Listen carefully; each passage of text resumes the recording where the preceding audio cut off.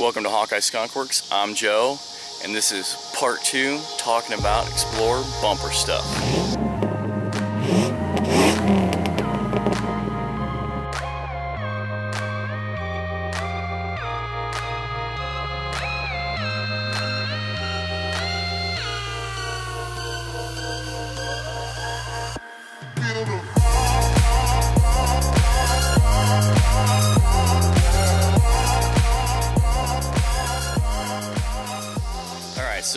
Video one, if you haven't seen that, make sure to check that out also. It doesn't really matter what order you watch it in.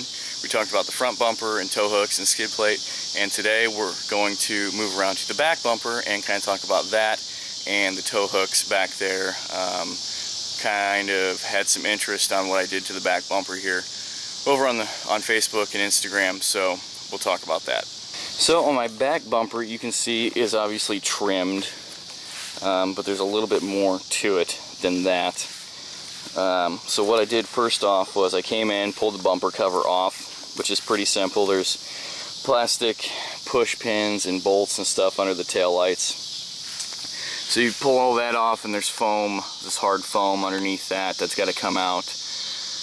And then the hitch on these is actually basically a rear cross member, so it goes frame rail to frame rail, and it's like two, two and a half inch square tubing. It's actually really stout. So uh, to gain a little bit more ground clearance, because these things have, it's kind of like a weird fat lower lip where the back bumper sticks out so stinking far, and especially if you're running any kind of suspension lift, the way the geometry on these works is as soon as you lift that strut, the wheel wants to start coming in towards the inside of the vehicle, which gives you even more overhang. So to help with some of that departure angle, what I did was I took the rear cross member slash receiver off, and there's three bolts on each side of the frame rail. I took those out. I flipped it over, uh, cut off these, and then welded them back to the underside, or the new underside. And then I had to come in here. I'll try to show you guys the best I can, but it's really, um, if you check yours out, it'll be a lot more self-explanatory. And uh, I, the bolts all, the bolt, two of these bolts lined up. I had to make the holes just a little bit bigger on the bumper bracket so they would line up. And then there's a third bolt up in here. Everything's black and painted black now and, and dirty so it's hard to see. I did have to drill those holes into the frame rails for them to line up. Side note, for drilling big holes like that in steel, um, I bought a set of step drill bits from Harbor Freight. Was a two pack, smaller one and then a really big one. And they worked amazing. I'm still using them on steel and they work better pretty much than any drill bit I've ever had. Um, I have a little squeeze bottle that I got like from the kitchen supply section at um, Walmart and I have um, just some, think it's just 30 weight um, Mobil 1 synthetic oil in it. Actually lube my AR with it and probably going to get some hate on that but I've read that it works really good and I've had no problems with it. Anyway, so I use that uh, for my AR and I use it as cutting oil um, just because it's it's easy to use in the squirt bottle for my drill press and my hand drill and those drill bits have been performing so well so if you need some step bits definitely go to Harbor Freight get yourself a 20% off coupon and pick up a set I promise you will not be disappointed moving on so yeah after I flipped that re-welded the uh, chain mounts for the hitch and re-drilled the holes and bolted it on. You can see how much clearance I've gained um, based on the spare tire. Now this is a, a 265 75 16 tire so it's much bigger than the factory tire and before the hitch sat about to here so I've gained about three inches and I obviously gotten the questions well your tire hangs down below yes but that's what that rack is for, for when I'm doing trail stuff. If I need to, I throw it up there and be done with it. It works good down there for the time being. And then what I did was these mounts uh, here had some kind of goofy metal on it from probably, you know, from the factory where it was being transported and, and molded and, and mounted and stuff. So I sliced those off. I capped it off to make it flush. And then I got some steel here that I trimmed and I welded at the top and then just kind of heated up, clamped, and bent around. So it's kind of like a frame rail skid uh, guard that'll, you know, protect anything, protect the plastic if I hit the ground. And uh, yeah, I did post some pictures of this on Instagram as I did it.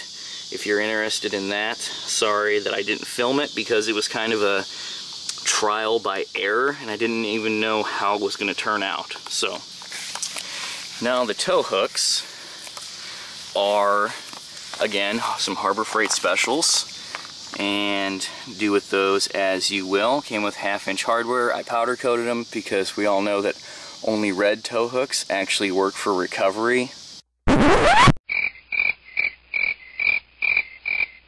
I can't remember the tow rating off the top of my head, but for anything that I will be in, they should be more than sufficient. And yes, I will keep in mind that they are from Harbor Freight when I use them. They have these retainer clips so your straps don't fall off. I actually really like that, even though I'm kind of a little cheesy.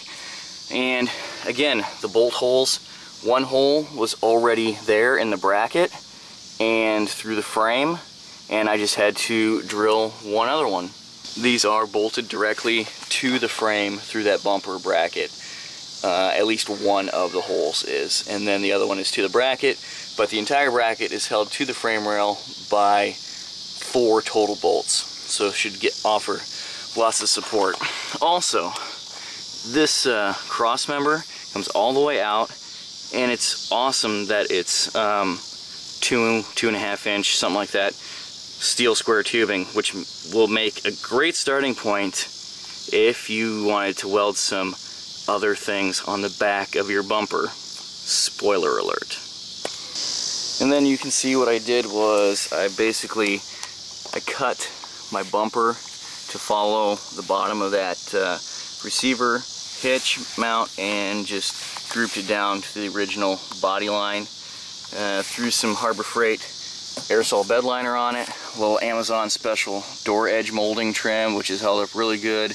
Uh, I was just going to continue a comp cut all the way across, but on my driver's side up underneath this quarter panel is all the ducting and the tubing for the uh, rear AC and I really want that to stay protected. I'm actually going to bend up an aluminum skid plate the other side to, to cover that even more. So as you may or may not be able to tell, the lighting is definitely fading and I'm going to wrap this video up. For more information or questions, as always, please feel free to leave comments down below. I've been getting a lot of questions and a lot of great comments from you guys and I sure do appreciate it or you can always email me, hawkeyeskunkworks at gmail.com, or contact me through any other form of social media, Facebook, Twitter, Instagram. Be sure to head on over to those pages, like and subscribe. I really appreciate all the enthusiasm and the support there as well. Uh, I guess while I've got it on, don't forget to check out your Hawkeye Skunkworks Thumbs Up Second Amendment t-shirt. Those are still for sale. Great shirts. And the hats, uh, not wearing the hat right now, but uh, you can contact me about that stuff. It's all over Instagram and Facebook, and there's a video about all that stuff as well. Super easy to order, really secure. I've got uh, many sizes still available. So, I guess I will wrap this video up. And uh, I, like I said, I've got more videos planned. Just need to uh, find a good place to start doing a little bit more work on this thing. So thumbs up for the video, subscribe, I really appreciate that. Have a good night and stay tuned. We'll see you later.